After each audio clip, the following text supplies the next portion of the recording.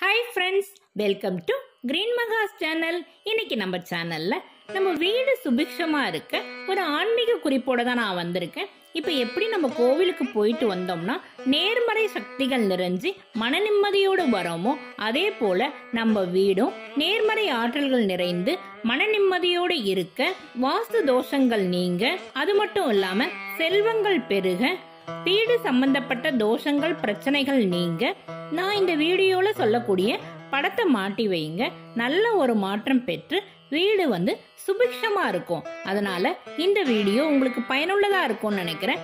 So வீடியோவை skip பண்ணாம முழுமையா பாருங்க. வீடியோக்குள்ள போறதுக்கு முன்னாடி நீங்க நம்ம சேனலை ஃபர்ஸ்ட் டைம் பாக்குறீங்கன்னா கிரீன் மகாஸ் சேனலை சப்ஸ்கிரைப் பண்ணி வச்சுக்கோங்க. கூடவே வேற பெல் ஐக்கானை கிளிக் பண்ணிக்கோங்க. அப்பதான் நான் போடுற அடுத்தடுத்த வீடியோஸ் உங்களுக்கு நோட்டிபிகேஷனா வந்து சேரும். வாங்க டிலே பண்ணாம வீடியோக்குள்ள போலாம். அனைத்து செல்வங்களுக்கும் அதிபதி லக்ஷ்மி தாயார் தான். இது நம்ம அனைவரும் அறிஞ்சதுதான்.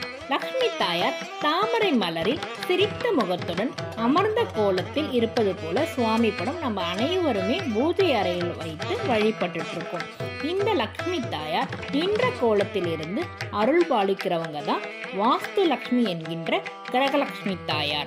இந்த படம் எப்படி இருக்குன்னு நான் விவரமா சொல்றேன்.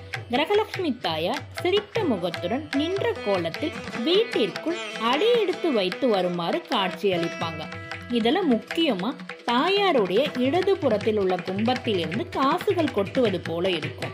வாழை மர தோரணங்களோடு படம் இந்த மாதிரி இருக்கும். இதுலயும் சிறப்பானது பசுமாடு கன்றுடன் இருக்கக்கூடிய கிரகலட்சுமி தாயார் படம் மிகவும் சிறப்பானது. இந்த மாதிரி இருக்கக்கூடிய படம் ஒன்று வாங்கிக்கோங்க. நான் இந்த மாதிரி தான் படம் வாங்கி வச்சிருக்கேன். கிரகலட்சுமி அல்லது வாஸ்து லட்சுமி படம்னு கேட்டிங்கன்னா கடைகளில் கிடைக்கும்.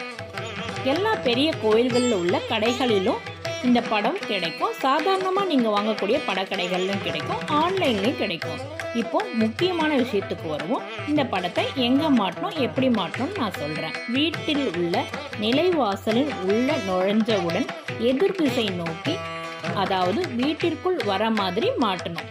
மீண்டும் சொல்கிறேன் நிலைவாசலில் அதாவது மெயின் டோருக்கு உள்புறத்தில் மேலே இந்த கிரகலட்சுமி தாயார் படத்தை நம்ம மாட்டி வைக்கணும். இந்த படத்தை பூஜை அறையில் அறையில் வைத்து வழிபட சிறந்தது கிடையாது.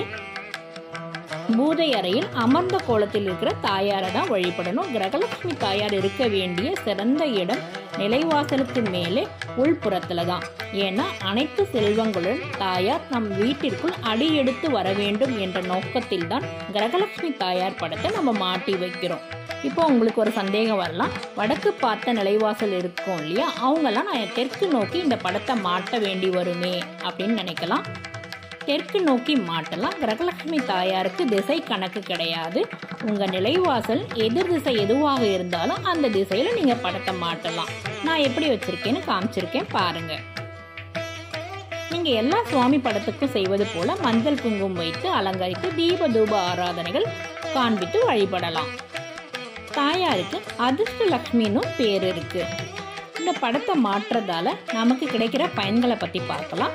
அதாவது நேர்மறை ஆற்றல்கள் அதிகரிக்கும் கண் திருஷ்டி விலகும் நற்சிந்தனைகள் பெருகும். இந்த கிரகலட்சுமி தாயார் நம் வீட்டிற்கு பதினாறு வகையான செல்வங்களை அள்ளி தருவார் என்பது ஐதீகம். வாஸ்து லட்சுமியை கடைகளில் ஆஃபீஸ் போன்ற இடத்துல கூட நம்ம மாட்டி வைக்கலாம். என்னன்னா அதே மாதிரி கடையிலோட உட்புறத்தில் மேலே மாட்டி வைத்து வழிபடலாம். அடுத்து ஒரு சின்ன விஷயம் உருளியில் பூ போட்டு வைக்கிறது. இது உங்கள் எல்லாருக்குமே தெரிந்த விஷயம்தான். நான் எப்படி உருளியை வச்சு அலங்கரிச்சிருக்கேன்னு காமிக்கிறேன். இந்த மாதிரி நம்ம சின்ன சின்ன விஷயங்களில் மாற்றம் செய்யும் போது தான் வீடு வந்து சுபிக்ஷமாக இருக்கும். நேர்மறை ஆற்றல் நிறைய பெருகும். கிரகலட்சுமி தாயாரோட அருள் பெற்று சகலவித சௌபாக்கியங்களுடன் நலமுடன் வளமுடன் வாழ்வோம். இந்த வீடியோ உங்களுக்கு பிடிச்சிருந்தா லைக் பண்ணுங்கள் ஷேர் பண்ணுங்கள் கமெண்ட் பண்ணுங்கள் கிரீன் மகாஸ் சேனலை சப்ஸ்கிரைப் பண்ணி எனக்கு சப்போர்ட் பண்ணுங்கள் இது வரைக்கும் இந்த வீடியோவை பொறுமையாக பார்த்தமைக்கு மிக்க நன்றி. அடுத்து ஒரு நல்ல வீடியோவில் வந்து பார்க்குறேன். தேங்க்ஸ் ஃபார் வாட்சிங்